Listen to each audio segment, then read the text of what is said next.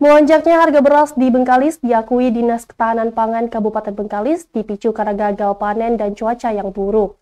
Akibatnya pasokan beras ke masyarakat berkurang yang mengakibatkan harga jual ke masyarakat naik.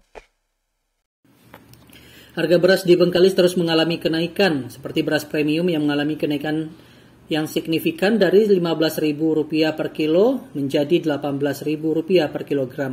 Akibat kenaikan harga beras ini, daya beli masyarakat mengalami penurunan. Kepala Bidang Distribusi dan Cadangan Pangan Dinas Ketahanan Pangan Kabupaten Bengkalis, Yana Susilayeni mengungkapkan, kenaikan harga beras beberapa waktu terakhir dipicu karena gagal panen dan cuaca yang buruk di daerah penghasil, sehingga pasokan beras berkurang.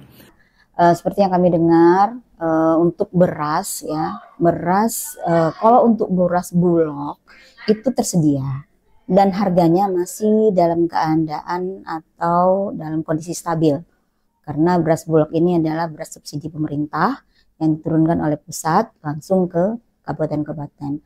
Untuk beras uh, premium yang lain uh, yang uh, diproduksi oleh perusahaan di luar bulog itu memang sangat-sangat menjulang tinggi sekarang. Masyarakat mengeluh, harganya sangat tinggi. Semalam kita dapat kabar sampai 18.500 per kilonya. Rencananya pihak dinas akan menggelar gerakan pasar murah atau GPM khusus beras guna mengatasi kesulitan masyarakat dalam mendapatkan beras yang murah dan berkualitas.